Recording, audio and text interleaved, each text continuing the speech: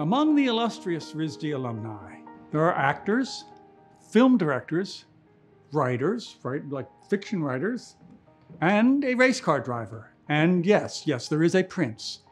The actual son of the King of Sweden went to RISD. This variety, and unexpected variety maybe, reinforces the idea that this school is where you learn how to think and imagine. It's not necessarily where you learn a craft that you will step into for the rest of your life. There are, for example, a number of actors on the list of alumni. Unless things have changed radically since I was here, I doubt that there's a lot of acting classes at RISD. So, although you might have a degree in photography, that may not be what you end up doing. And that's, that's okay. Hopefully, you'll be able to think in ways that will be applicable in whatever you do. That's the idea. There aren't many musical composition classes at RISD either, not that I recall. However, I can attest that some of my musical decision making was inspired by my directives that I learned in art school. For better or worse, my way of thinking changed during my time here.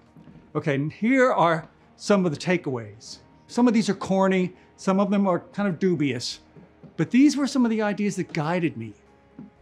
One, be true to your medium.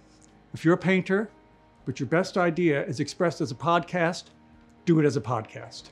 Number two, leave the past behind. Abandon received ideas. There are loads of people trying to be the next so and so. Don't fall for that. In the beginning, that might result in you doing very little, but that little will be like nothing else and like nobody else. Like someone else said, make it new. Number three, creativity is work. You have to put in the hours. Yeah, it's a job. We've all heard about inspiration and perspiration, and yeah, that cliche is mostly true. Number four, I learned as much from my fellow students as I did from the teachers. Whoops, that doesn't mean your time was wasted here and you should have just hang, hung out at the bar. But uh, what I'm not talking about technique, but I met folks, uh, students, fellow students from other worlds, and I learned from them. Sometimes I learned not to do what they did. My first roommate ended up in rehab. Number five, the world isn't fair. There is discrimination, and some people get lucky breaks.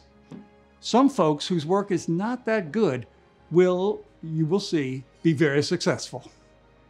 Just because they're successful, though, doesn't mean it's the best. Correlation does not mean causation.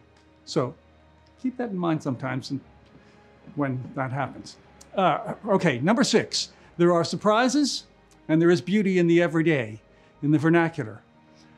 I learned that the uh, officially anointed work and the artists are only one way of looking at things, and those get revised fairly often, so trust what you love.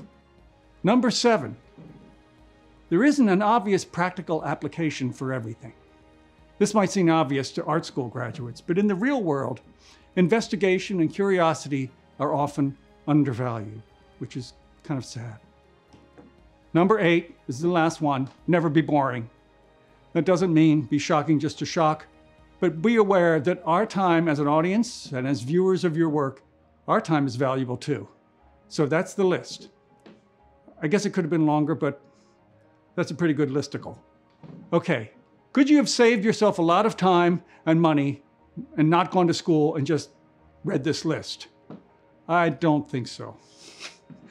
Those ideas became apparent to me. I internalized them gradually after a lot of processing, fermentation, and the passage of time. Having that time, I realized, was part of what school was for. I'm grateful for the time. I wish you all the best. I hope to see you somewhere on the sidewalk, on the street, who knows? Soon. All the best and congratulations.